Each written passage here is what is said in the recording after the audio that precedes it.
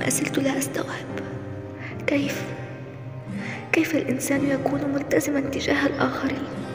بحذافير اللطف واتقاء شر إيذاء القلوب.